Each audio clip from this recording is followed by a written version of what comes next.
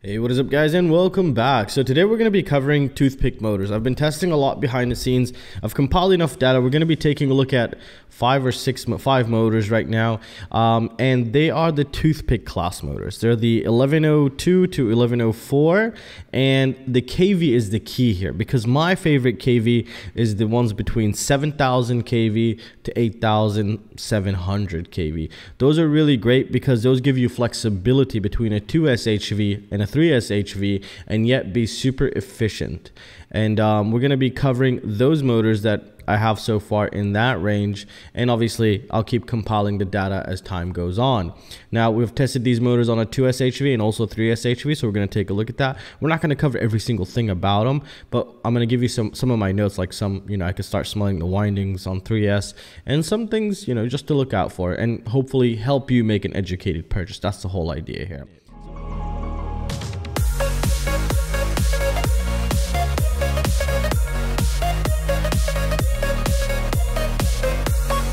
PCBWay is one of the leading PCB manufacturers that I even use on a daily basis, not only to do my projects, but also some of the products that I've designed that's currently in the market, like the Drone Mesh VUSB. And I'm constantly using them for prototyping, and I'm also using their assembly services, and they also do have flashing services for specific hardware requirements. So it's a really great place to have your PCB manufactured or prototype. All right, guys, so here are the motors that we have tested. Now, this is the 2S test, and I've also done the 3S test, but I want to start off with the 3S because that's that's where I'm that's what I'm usually flying at the most and I think is the most um, interesting part because the 2S is kind of the all basically kind of similar but to be honest this is where the motor actually makes the most sense to me and then the 2S 2S would just follow in the same footsteps. Now these were tested on uh, HV voltage of a 2S and a 3S so let's make sense of this. Up top is we have each motor's name and what battery size it was running on. So this was a 3S HV and all of these are 3SHV right here.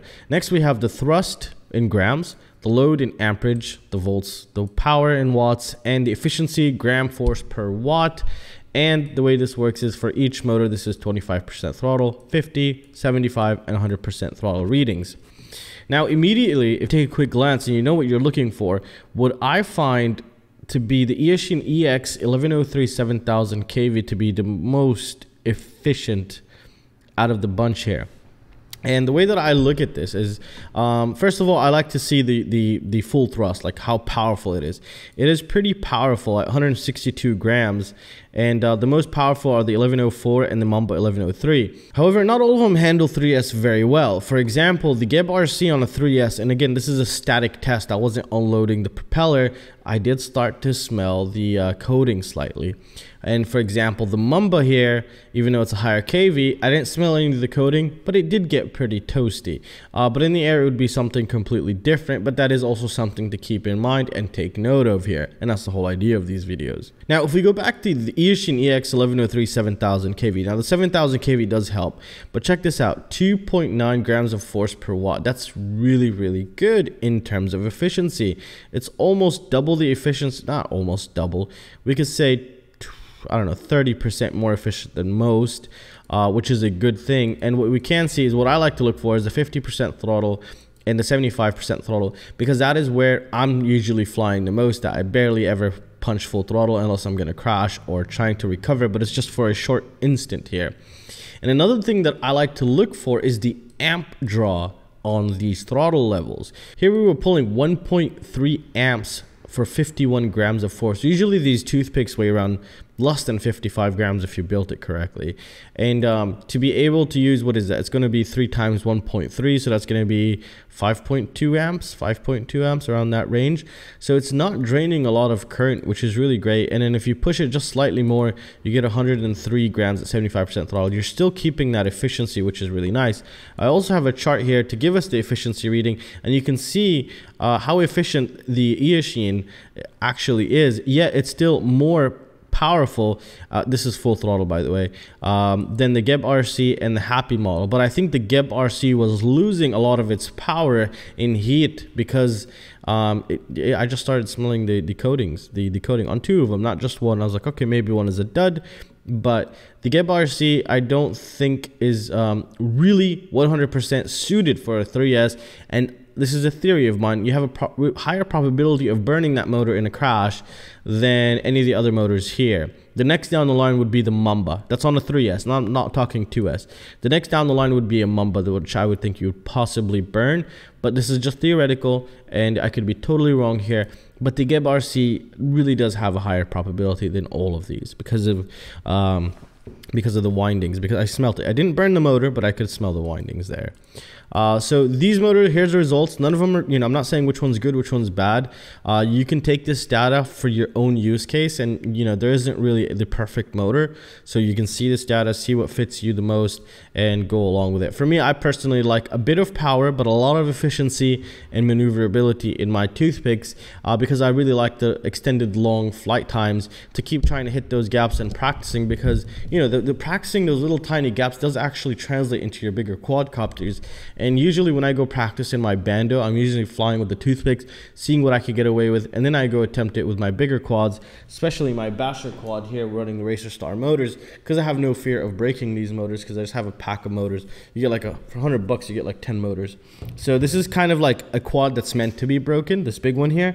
And the toothpicks are just insane here. Um, I just love them. And the Twigs, Twigs is uh, something new I've tried recently and I'm starting to fall in love with also, but we'll have a separate thing for that later on. Let's jump to the 2S. We're just going to take a quick glance over these, uh, see which one fits you the most here. Let's start with the chart real quick. We can again see that the Eachine EX1103 is the most efficient, yet it's not the most powerful. But then again, you have to choose what fits you best. It's not the most powerful. It was pulling a maximum of uh, 86 grams of force. So it's it's not that. I mean, when you have four motors, it's great, but it's not as powerful as like a GepRC 1103. And to be honest, it doesn't even shine by that much, just by what 15 grams.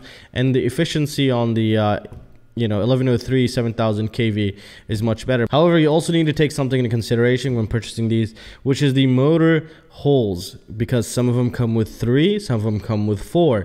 The three will not go on a four and the four will not go on a three. So keep in mind and make sure your frame supports which one of those motors. Currently, they're all tending to uh, standardize to the four hole, but I think Eachine and Happymodel are trying to make some sort of a proprietary monopoly in that mounting hole size so they can have you keep buying their motors on their frames. So when you buy a pre-made one, it'll you know it'll force you to buy the three hole motors. So keep that in mind. That's very important because you don't want to buy motors and next thing you know they don't fit on your frame here and here you go, you can just take a look at this. I'll have these results up for my Patreons.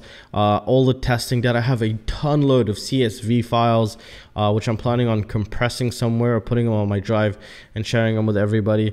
Uh, but obviously, Patreons get the dibs and uh, my compiled data. They get first access to all my compiled data.